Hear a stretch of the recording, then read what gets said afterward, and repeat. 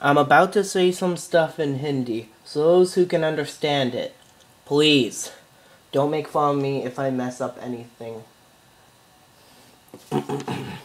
Bula metrom, safa parhariam, sikalum oraloga kuna samanja munji. Or, hello classmates, my question is how many main religions are there in India?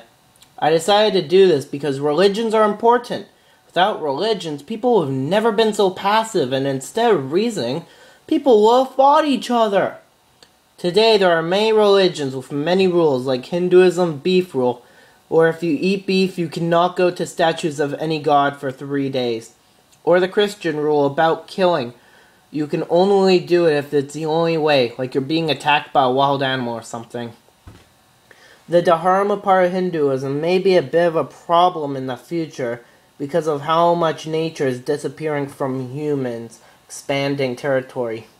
And also with how close to extinction many animals are, like the polar bear. There are six main religions I have miniaturized sentences for on them. Hinduism is partly based on Dharma, which means the way of life. Jainism people believe that their faith has been handed down to them by 24 saints. Buddhism is about the Four Noble Truths and suffering. Sikhism was founded by the Punjab Guru Nanak. Christianity beliefs are that a person called God created everything, and when you die, you go to heaven. The last of the six religions is Islam, and he believed that God gave Muhammad relations, lots of knowledge. Now that I'm done here, there are three questions to see if you guys were paying attention. 1. What was the Punjab Guru's name? 2. What does Dharma mean? 3.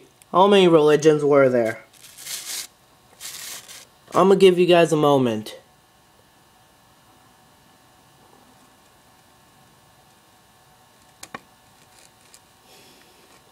Time's up.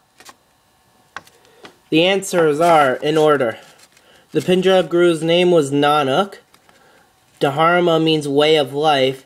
And there were six different religions. Please like this video, rate, and subscribe. I don't care if you do or not. And don't be mean in the comments. Thank you for watching.